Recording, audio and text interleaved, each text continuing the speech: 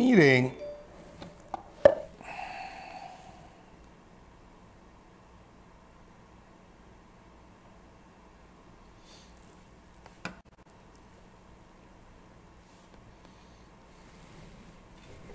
el presidente de la República está haciendo un esfuerzo extraordinario y es el único que en toda la historia de esta nación se ha puesto los pantalones para resolver el problema haitiano.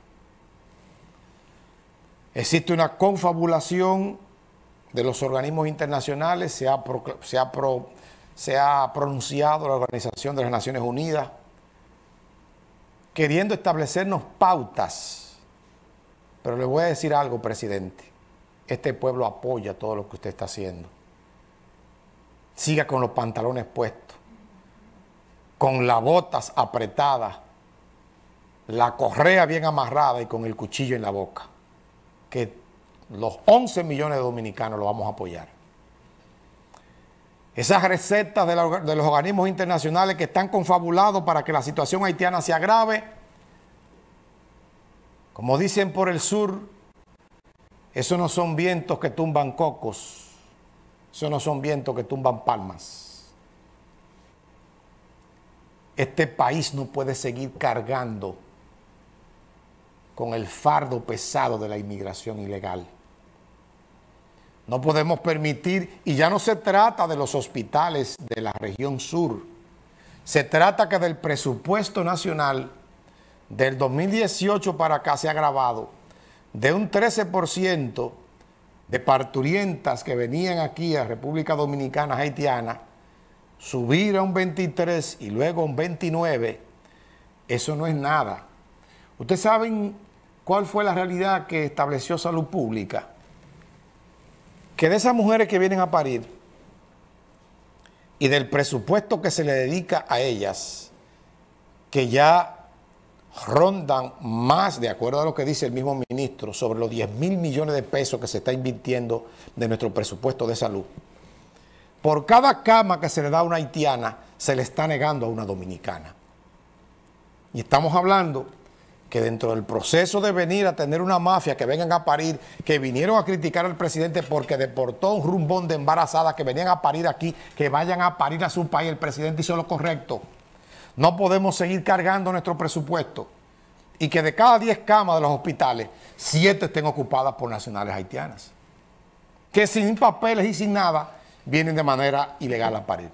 Las dominicanas se van a parir fuera, pero cuando se van a parir fuera, han tenido que pasar por un proceso de residencia permanente y de ciudadanía que le agota entre 5 y 10 años a esas personas que van a trabajar y que demuestran que no son una carga para el Estado y que van a vivir de las ayudas. Y nosotros no podemos permitir que ya de esas que vienen a parir dentro del presupuesto que se ocupa a nivel hospitalario para las dominicanas, el 59% se está dedicando a parturientas haitianas. No, no se puede permitir y República Dominicana está sola a nivel mundial con el tema haitiano. Porque si ustedes, grandes potencias, quieren que Luis no construya un muro, que esa verja perimetral bajita con alambre, me la encuentro floja, tiene que ser un muro blindado, con electricidad, fortificado con militares, con torres de vigilancia, cámaras de control, como lo tienen ustedes Estados Unidos, en la frontera con México como lo tienen ustedes, pendejos de Israel, ahí en la franja de Gaza, aunque es ilegal. Como lo tiene España para que no entren los africanos. Y como ustedes mandan para el carajo y están devolviendo y votando a todos los haitianos de todas sus naciones. Si ustedes quieren tanto, yo les propongo una solución, buenos pendejos y no quieren que nosotros devolvamos una nación que ya no es nación, que agotó su tiempo de vida útil y constituye un peligro para la región. Al punto que permitieron que a un presidente en su casa, como Jovenel Moïse, lo asesinaran. Y que viene él de un grupo de presidentes de más de 10 golpes de Estado que ustedes americanos crearon, que ustedes saquearon, y que la solución es buscar un conflicto armado. Y no es porque sean negros, porque nosotros hemos acogido aquí a 5 millones. Aquí hay 3.5 millones de jóvenes viviendo y comiendo y, estando en este país, mantenidos por nuestro presupuesto y nuestro trabajo. Porque un grupo de irresponsables ingenieros que no quiere darle trabajo a los dominicanos para pagarle mano de obra y robárselo todo, con el cuento de que el dominicano no quiere trabajar y que bebe. ¡Mentira!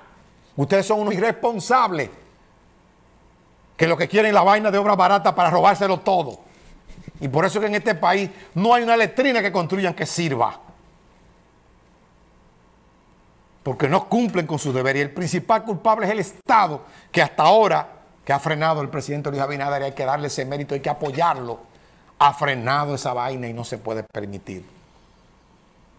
República Dominicana llegó a un punto en que tiene que aplicar la ley de inmigración y dejar en este país a los que se regularizaron con el Plan Nacional Migratorio de Regularización. Fueron 200 mil, se dejan esos 200 mil, el resto va para su casa. Y los que están trabajando en, en construcciones, en el campo, en todos los lugares, con contratos de trabajo temporales, terminó la zafra para su casa. No, no se puede permitir que estén tomando un puesto a un punto tal que nos vean a nosotros, ellos como un peligro, y que los dominicanos entonces somos los malos, los que le hemos acogido, los racistas. ¿Usted ha escuchado que algún dominicano ha matado a algún haitiano? Han habido enfrentamientos por asuntos esporádicos. Ahora sí hemos visto cómo han matado, cercenado, cortado manos, como la muchachita aquella, reventado, le han cortado cabezas y eso está poniéndose peor. Hay lugares en la zona fronteriza que han tenido que cerrar las escuelas porque no hay dominicanos ya. Y lugares en donde esas escuelas están llenas solamente de haitianos. Y educación ha tenido que dejar que esas escuelas funcionen sin ningún tipo de control, donde solamente se habla creol y patois en nuestro propio territorio. Al punto que yo presenté aquí, hospitales como si fueran hoteles ocupados por haitianos.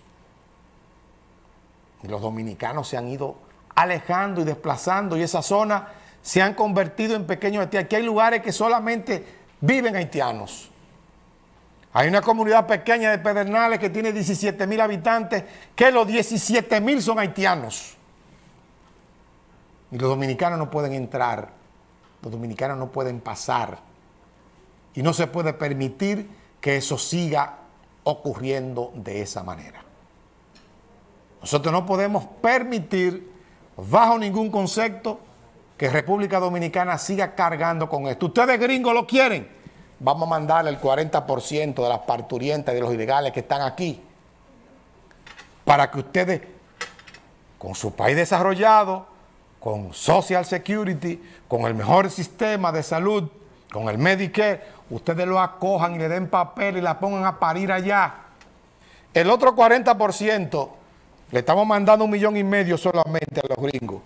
Otro millón y medio se lo vamos a mandar a ustedes, buenos pendejos franceses que los robaron y le saquearon cuando fueron colonias de ustedes. Le vamos a mandar un millón quinientos mil, el otro 40%, para que ustedes, como son ciudadanos del mundo, cuna de los derechos, de la Declaración Universal de los Derechos del Hombre y del Ciudadano, de la Revolución Francesa, ustedes lo acojan allá, le den papeles y que paran allá en su país, buenos pendejos.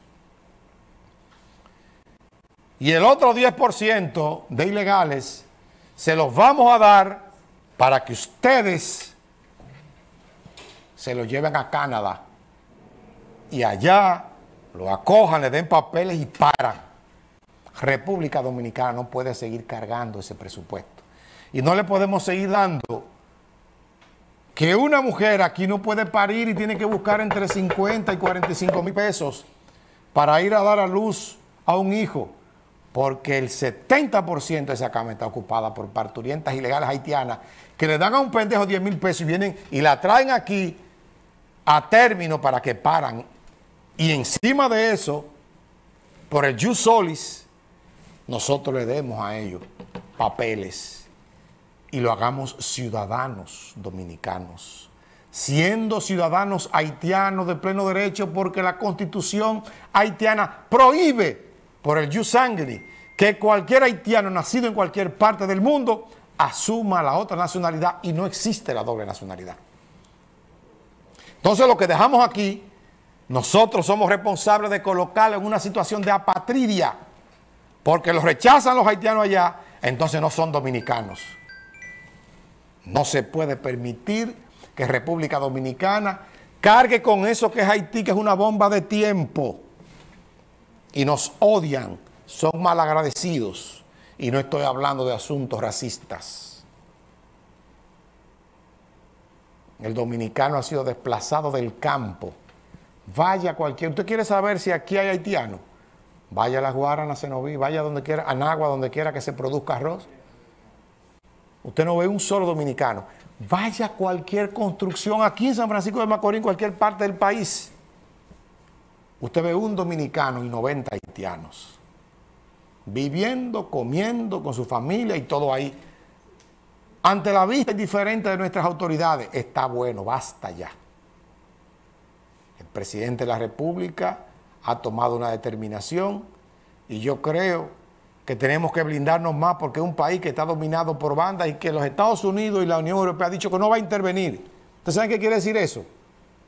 Ármense, comiencen a matarse ahí para que se arme un conflicto con los dominicanos, entonces nosotros intervenir y abrir la frontera de la República Dominicana de Haití.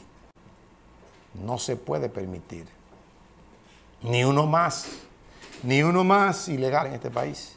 No importa que me digan racista y que yo me exponga a que me llamen que soy un hombre xenófobo.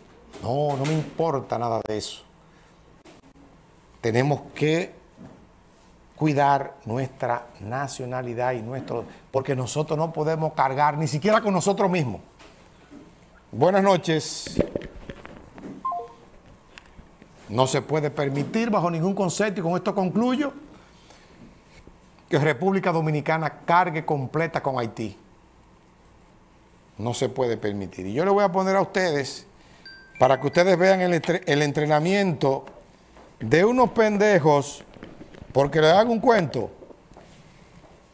el 75% de las emisoras de todas las zonas fronterizas son haitianas, y en nuestro país hablan creol y patois interfieren las emisoras nuestras y hay un mensaje de odio.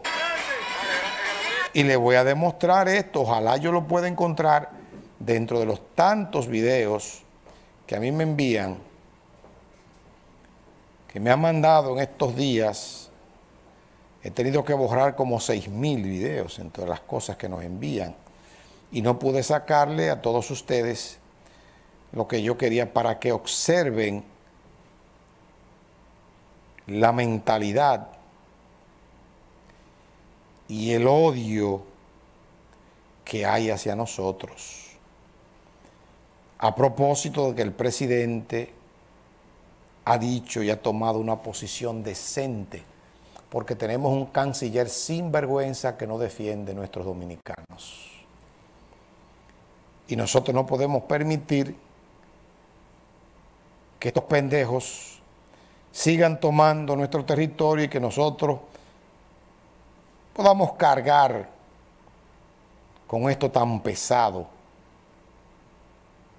muriéndonos nosotros mismos, nuestras mujeres no pueden, en los hospitales no hay nada. Y el que va ahí tiene que ir con dinero para hasta hacerte una radiografía. Entonces a ella le damos todo.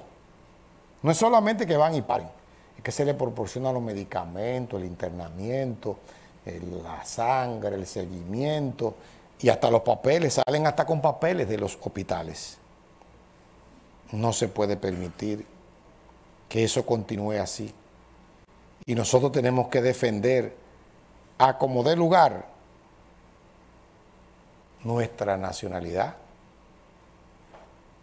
Es en peligro que está la salud de la patria. Aunque digan que no, no, que no hay nada, que eso es el miedo, que estamos montiendo el odio. No, no, no. Yo, no yo, soy de los que promueve que no debemos tratar de seguir alimentando el odio, pero eso no, los cortés no quita a los valientes. Nosotros tenemos que defender nuestra parte y nosotros tenemos que hacer un trabajo que permita que esta nación se limpie, porque no hay cama para tanta gente.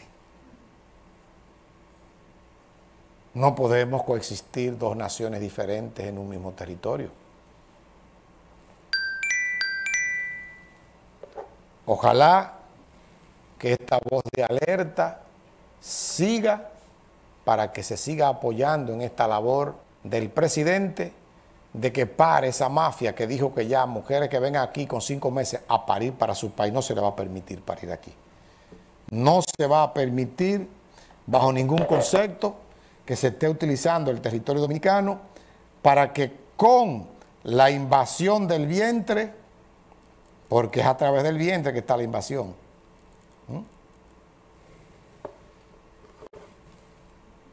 este país se esté llenando de extranjeros que tienen más derechos que nosotros y a los que se les permite hasta vivir mejor y en mejores condiciones que los dominicanos.